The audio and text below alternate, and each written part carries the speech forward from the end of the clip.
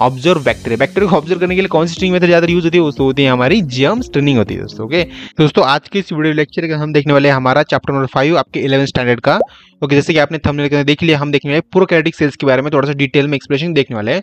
और विथ आपके एमसीक्यू के साथ, जैसे कि आपने देख लिया, उसके अंदर मैंने बताया आपको, हम टॉपिक को एक्सप्लेन करने वाले डिटेल में, वो तो हमारी खूबी है, वो हमारी खासियत है हमारे चैनल की बट हम उसके साथ हम एम को भी देखने वाले मतलब उस टॉपिक और एम क्योंकि मैंने मुझे एक ऐसा सीनियर या मतलब समझ में आया है, आपको पढ़ाते पढ़ाते, कि आपको कब समझ में आता है या फिर मुझे भी कब समझ में आता है अच्छे से जब मैं उस टॉपिक के रिलेटेड कुछ एमसीक्यू स्टडी करता हूँ। उस टॉपिक के रिलेटेड कुछ शॉर्ट जो भी बोलते हैं मैं शॉर्ट क्वेश्चन आंसर देखता हूँ, तभी मुझे वो टॉपिक वो अच्छे से क्लियर होता है। तो इसलिए दोस्तों मैंने ट्राई किया है।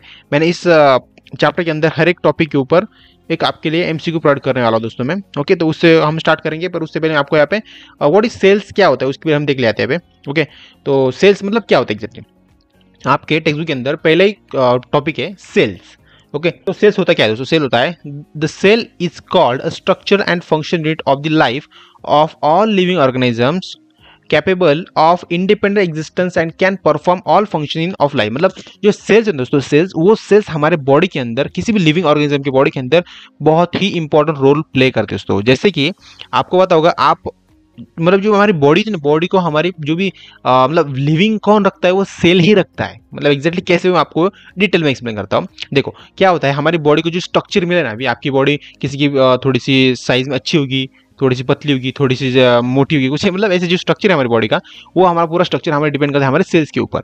मतलब कैसे? जो सेल्स होते हैं, वो उनका रोल बहुत ही लास्ट में आता है बट कैसे हमारी बॉडी को स्ट्रक्चर मिलता है, वो मैं आपको पहले बताऊँ।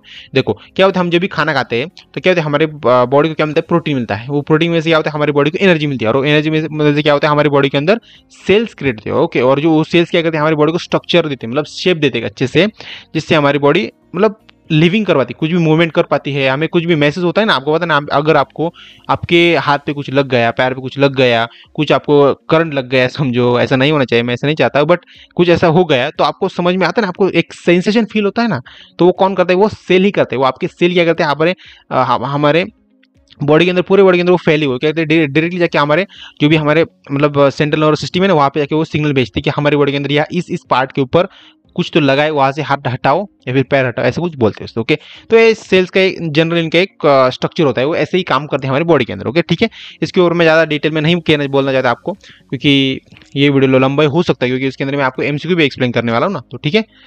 देखो सेल्स जो होते हैं कुछ टाइप्स होते हैं। देखो फ़र्स्ट आपका प्रोकैरेटिक सेल दूसरा होता है यूकैरेटिक सेल्स ओके तो प्रोकैरेटिक सेल को हम देखने वाले इस मतलब चैप्टर के अंदर आई मीन इस वीडियो लेक्चर के अंदर दोस्तों क्योंकि देखो मेन फीचर्स क्या होते हैं हमारे प्रोकैरियोटिक सेल्स के? वो होते हैं हमारा सेल इन्वलप देखो जो प्रोकैरियोटिक सेल्स होता है ना तो उसके ऊपर कुछ इन्वलप होता है। मतलब उसकी जो भी बहुत ही आउटर लेयर कवरिंग होती है ना तो उसे इन्वलप बोलते हैं, समझ तो इन्वलप मतलब एक सेल है ना, वो किसी अंदर, किसी चीज़ के अंदर वो पैक है। इन्वलप आपको होता है ना, आपके घर पे जो भी मतलब पोस्ट ऑफ़िस जो भी कुछ आता है तो वो इन्वलप ही होता है। उसके अंदर आपका कुछ भी होता है मतलब आधार कार्ड, पैन कार्ड मतदान कार्ड, आपका जो भी सब होता है तो उसके ऊपर जो कवर है, उसे हम कहते हैं इन्वलप बोलते हैं। दैट इज़ यहाँ पे प्रोकैटिक सेल को यहाँ पे ऐसे यहाँ पे डिवाइड किया जाए तो इन्वलप सेल का इन्वलप होता है। वो क्या होता है? वो केमिकली एंड प्रोटेक्टिव होता है। वो केमिकल होता है मतलब केमिकल की वजह से फॉर्म होता है वो ओके केमिकली कॉम्प्लेक्स होता है और वो प्रोटेक्टिव होता है मोस्ट ये इंपॉर्टेंट क्या वर्ड है यहाँ पे? प्रोटेक्टिव होता है, ठीक है?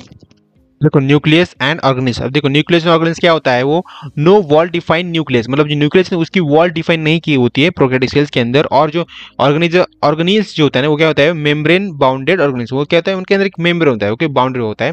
ठीक है? देखो हम देखते हैं स्ट्रक्चर ऑफ़ इन्वलप देखो इन्वलप क्या होता है देखो हमें प्रोकैरियोटिक सेल को समझने से पहले जो प्रोकैरियोटिक सेल के ऊपर जो इन्वलप है ना जो कवरिंग है, उसको समझना चाहिए। कोई भी अगर आपके पास पैकेट आता है तो उसके ऊपर आप पहले देखते ना वो किसका नाम है, किसका पता है, किसका एड्रेस है, वो तो चेक करते ना, बाद में उसे अंदर जाके उसको खोलते हो, तभी देखते हो वो हमारा प्रोडक्ट है या नहीं, दूसरे का, किसी का। तो वो इंपॉर्टेंट है, हमें उसके जो प्रोडक्ट प्रोकैटिक सेल का जो भी इन्वॉल्व है उसे हम देखना, हमें उसे देखना पड़ेगा अच्छे से, वो एक्जैक्टली क्या है, बाद में हम प्रोकैटिक सेल के ऊपर जम मारेंगे, ठीक है? देखो स्ट्रक्चर ऑफ़ इन्वॉल्व उसके अंदर हमारा फ़र्स्ट आता है क्या था दोस्तों भाई? गैलेक्कोलेक्स ओके गैलेक्कोलेक्स उसे हम कहते हैं गैलेक्कोलेक्स बोलते हैं। तो उसके अंदर क्या होता है? मतलब देखो गैलेक्कोलेक्स क्या होता है? वो वो एक आउटर लेयर होती है हमारे किसकी? इनवलप की। मतलब एग्जैक्टली हमारे प्रोग्रेडिक सेल्स की। वो can be slime layer okay एक स्लिम लेयर होता है। वो बहुत ही लूज मतलब बहुत ही पतली लेयर होती है वो। ओके वो कैप्सूल होती है मतलब टाइट होता है, वो टाइट कैप्सूल को जो उन्होंने, उसने क्या किया होता है, उस लेयर ने टाइटली पैक किया होता है, ठीक है? सेल वाल सेल वाल क्या होती है? देखो, ये जो फ़ंक्शन दोस्तों, ये इनके फ़ंक्शन है मतलब बहुत ही इन्होंने क्या दिया है, बहुत ही ऊपर ऊपर से दिया है और बहुत ही इंपॉर्टेंट दिया है। मतलब देखो, आपको एग्ज़ाम के अंदर ऐसे ही लिखना है सेम टू सेम कुछ अलग नहीं लिखने का है, ठीक है? मतलब देख सकते हो, बहुत ही शॉर्ट नोट्स है बट इंपॉर्टेंट आपके एग्ज़ाम के एग्ज़ाम के पॉइंट ऑफ़ थ्रू से ओके ठीक है? देखो सेल वॉल क्या होता है? मिडल लेयर सेल वॉल कहाँ पे होती है? वो मिडल लेयर होती है एक्जैक्टली देखो, यहाँ पे सेल वॉल कहाँ पे आपका? मैं देखो सेल वॉल देखो, ये स्ट्रक्चर है आपका। देखो, ये सेल वॉल यहाँ पे ना तो ये क्या एक मिडल लेयर है ना, ये मिडल लेयर है आपके प्रोकैरियोटिक सेल्स की। ठीक है दिस सेकंड हमारा made up of peptidoglycan in gram positive bacteria okay peptidoglycan in gram positive bacteria होता है। Second made up of murein in gram negative bacteria ठीक है, वो क्या क्या फॉर्म करते हैं, ये दिया है इन्होंने सिर्फ़ ओके प्रोवाइड मैकेनिकल स्ट्रेंथ वो मैकेनिकल स्ट्रेंथ प्रोवाइड करते हैं हमारे। प्रोगेटिव सेल्स को, ठीक है?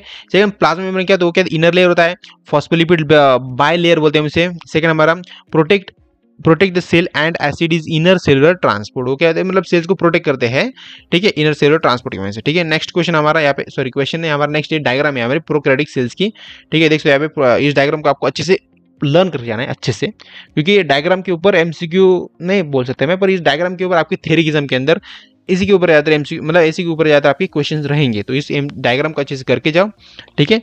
नेक्स्ट क्वेश्चन दोस्तों हमारे यहाँ पे, देखो पॉइंट दोस्तों ऐसे हमारा जम स्ट्रीनिंग ओके जम स्ट्रीनिंग मतलब एग्जैक्टली क्या होता है? मैंने आपके टेक्स्ट के अंदर रीड किया था जम स्ट्रीनिंग के बारे में तो वो उसको मैंने बहुत बड़ा उन्होंने दिया था, बहुत कुछ दिया था। मैंने सिर्फ़ उनको, उसको दो लाइन के अंदर डिफाइन किया है देखो तो वो जम स्ट्रिंग को डेवलप किया है डेवलप किया है हेंस क्रिस्टियन जिम नाम के एक साइंटिस्ट ने इस जीएम स्ट्रिंग को मतलब डिस्कोड किया है। वो क्या होता है exactly differentiate bacteria based on the cell wall composition मतलब जो भी बैक्टीरिया थे ना, उसके अंदर वो डिफरेंशिएट करते रहता है बेस्ड ऑन सेल वॉल के ऊपर ओके देखो ये सेल वॉल है ना, इसके ऊपर जो बैक्टीरिया है उसको डिफरेंशिएट करता रहता है। कौन करता है? जम स्ट्रेनिंग करता है, ठीक है? सेकंड हमारा pili and flagella pili and flagella पे देखो चिली एंड फ्लेजिला फ्लेजिला तो मैंने देखा था यहाँ पे। आई थिंक ये चिली नहीं है। ओके चिली है ठीक है। एक्जैक्टली वो होता, होता क्या है उसके बारे में देख लिया यहाँ पे। ठीक है driven by rotary movement form a basal body okay जो रोटरी मूवमेंट होती है ना बेसल बॉडी यहाँ से तो इनकी तो वो ये हैंडल करता है चिली करता है। सेकंड हमारा consist of the filament and hook उसे क्या बोलते हैं consist of filament and hook बोलते हैं। ठीक है सरफेस प्रोजेक्शन क्या होता है दैट इज़ उसे उसे मतलब पिल्स एंड फिमरिया बोलते हैं। ओके पिल्स एंड फिमरिया क्या होते हैं tubular structure aiding in inner cellular communication जो भी ट्यूबलर स्ट्रक्चर होता है ना, देखो कहाँ पे हमारा, देखो यहाँ क्या हमारा पिल्स देखो पिल्स का आप हमारा पिल्स है। जो भी ट्यूबलर स्ट्रक्चर है ना, वो क्या करते हैं, यहाँ पे होता है दोस्तों ओके तो समझ सकते हैं यहाँ पे। सेकंड हमारा क्या है? फिमरे हैं help in cleaning the surface fimbriae कहाँ पे दोस्तों? फिमरे यहाँ पे। वो कहते हैं जो भी हमारा जो सरफेस जो है, उसे क्लीन करने का काम करते हैं फिमरे करते हैं ओके ठीक है, आपको समझ में आ गया? सेकंड दोस्तों हमारे यहाँ पे एमसीक्यू स्टार्ट होता है यहाँ पे। देखो एमसीक्यू को मैं आपको डिटेल में समझाना चाहता हूँ दोस्तों वैसे बट अभी क्या कर सकते हैं, ठीक है? देखो, थोड़ा जूम करके दिया आपके अच्छे से। ठीक है which of the following structure is not found in prokaryotic cell prokaryotic cell के अंदर ऐसा कौन सा स्ट्रक्चर वो फाउंड नहीं होता है दोस्तों ओके सो होता है हमारा न्यूक्लियस ओके आपके आपके प्रोक्रेटिक सेल्स के अंदर न्यूक्लियस फाउंड नहीं होता है, जैसे कि हमने अभी अभी कहाँ पे देखा था? ओके हमारे यहाँ पे देखो। प्रोक्रेटिक सेल जो होता है ना, उसके अंदर न्यूक्लियस देखो न्यूक्लियस ऑर्गेनिज क्या तो नो वेल डिफाइंड न्यूक्लियस उसके अंदर वेल डिफाइंड न्यूक्लियस नहीं होता दोस्तों ओके तो क्लियर दोस्तों, मैंने उस टॉपिक के ऊपर जाकर हमारे एमसीक्यू क्रिएट किया है। Okay what is the outermost layer of the prokaryotic cell वो क्या दोस्तों होती है हमारी गैलेक्टोलाइस ओके वो बहुत ही पतली लेयर होती है ना जैसे कि हमने उसको पहले ही लाइन के अंदर देख लिया था। सेकंड दोस्तों मैंने यहाँ पे आपके लिए एमसीक्यू के आंसर भी देख रखे ठीक है? Glycocalyx is a prokaryotic cell can be present as वो गैलेक्टोलाइस सेल जो वो प्रेजेंट है कैन बी प्रेजेंट वो कहाँ पे प्रेजेंट एक्जैक्टली ओके मतलब एक्जैक्टली होती क्या सो होती है हमारी स्लिम लेयर और कैप्सूल होती है जस्ट लाइक स्लिम लेयर और कैप्सूल होती है। ठीक है, इसका राइट ऑप्शन हमारा ए राइट ऑप्शन सेकंड हमारा विच क्या दोस्तों हमारा? Which staining method is most commonly use in observe bacteria bacteria को ऑब्ज़र्व करने के लिए कौन सी स्ट्रिंग मेथड ज़्यादा यूज़ होती है? उसको होती है हमारी जम स्ट्रेनिंग होती है दोस्तों ओके ठीक है दोस्तों क्लियर हो आपको? सेकंड दोस्तों क्वेश्चन हमारा पे द सेल वॉल ऑफ़ जम positive bacteria is primarily compound compose of जो भी सेल वॉल होती है ना जम पॉजिटिव बैक्टीरिया की, वो प्राइमरली कंपोज होती है किसके अंदर होती है? हमारी पेप्टिडो ग्लाइसिन के अंदर होती है ओके तो राइट ऑप्शन हमारा सी राइट ऑप्शन है ओके तो नेक्स्ट क्वेश्चन दोस्तों ऐसा हमारा, देख सकते हैं यहाँ पे the movement of motile bacteria is drawn by जो भी मोमेंट है ना मोटाइल बैक्टीरिया की तो वो किसने ड्रॉन की ओके वो होती है हमारी बैसल बॉडी की वजह से होती है। किसकी वजह से? बैसल बॉडी की वजह से होती है। ठीक है? Second which surface projection is prokaryotes is primarily invoked in inner cellular communication मतलब ऐसा कौन सा सर्फेस होता है जो प्राइमरली क्या होता है? वो इन्वोक होता है inner inner cellular communication communication के अंदर। सो होता है हमारा पिल्स होता है। क्या होता है? पिल्स होता है कि पिली बोलते हैं पिल्स बोलो, कुछ बोलो। ठीक है, समझना चाहिए सिर्फ़। एमसीक्यू क्या होता है और उसकी थेरी बैकएंड में क्या होता है? वो देखो, वो जो थेरी है, उसकी बैकएंड है और ये क्या हमारा फ्रंट एंड है। मतलब हमारा जो भी इंपॉर्टेंट बेस है ना, वो हमारी थियरी है बट उसके ऊपर आपको बेस अगर आपका क्लियर नहीं होगा तो आपको ये जो एमसीक्यू उसके ऊपर आपको अच्छे से समझ में नहीं आएगा। और अगर अगर दोस्तों एक बात ध्यान रखो मेरी, अगर आपको एमसीक्यू के ऊपर अगर आपको समझ में आ गए ना एमसीक्यू आपको सॉल्व करते हुए आ गए ना तो आपको थेरी समझ में कोई पॉइंट कोई देर नहीं लगती, आपको थेरी इजीली समझ में आ जाती है। ओके ठीक है? सेकंड क्वेश्चन हमारे यहाँ पे।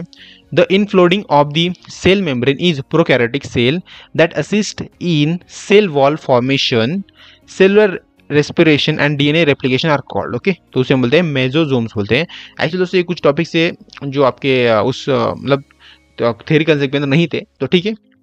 याद रखो सिर्फ़ यार, ठीक है? Photosynthesis cyanobacteria have longer extension called जो भी फोटोसिंथेसिस होता है ना साइनोबैक्टीरिया के अंदर have longer extension from chromatophores बोलते हैं, क्यों? क्रोमैटोफोरियंस बोलते हैं।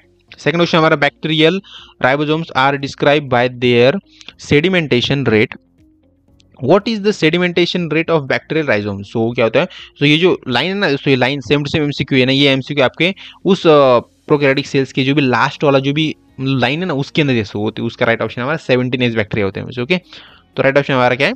सी राइट ऑप्शन है ठीक है? और thanks for watching this video दोस्तों। दोस्तों, आपको वीडियो अच्छा वीडियो को लाइक शेयर सब्सक्राइब जो सब कुछ भी आपसे हो सके, वो सब कुछ कर देना।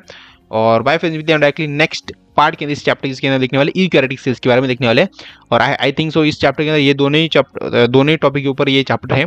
तो ये चैप्टर खत्म हो जाएगा नेक्स्ट पार्ट के अंदर। तो बाय फ्रेंड्स